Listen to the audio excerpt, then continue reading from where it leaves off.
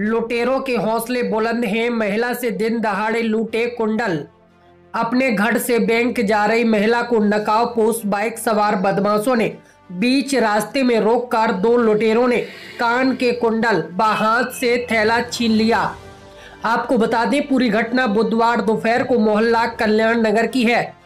कस्बा क्षेत्र के मोहल्ला आदर्श नगर की रहने वाली महिला राजकुमारी पत्नी भोजराम बुधवार की दोपहर करीब 12 बजे सेंट्रल बैंक जा रही थी।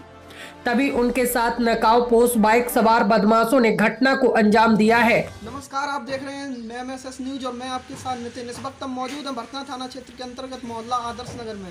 दरअसल बात कुछ यूँ है कि हमारे साथ में वृद्ध माता जी मौजूद हैं। कल दोपहर की घटना रही होगी कि इनके साथ कुछ बाइक सवार नकाब पोस्ट बदमाशों ने लूटपाट की घटना को अंजाम दिया है। और इनके कानों के कुंडल छीन लिए हैं। तथा उनके साथ में जो थैला था उसमें बैंक की पासबुक कुछ ज़रूरत के सामान और लगभग में कुछ पैसे थे। आइए माता जी से बात करते हैं और जानते हैं क्या घटना हुई है। माता जी नाम बताएँ अपना। क्या घटना हुई है? हमको घेर लिया है। बदमाशों ने बदमाशों ने घेर लिया हमको बोलने नहीं दिया।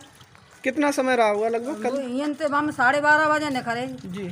तो वो ही मतलब है, हम घेर लो हमें करने नहीं बोले ही नहीं पाए हम।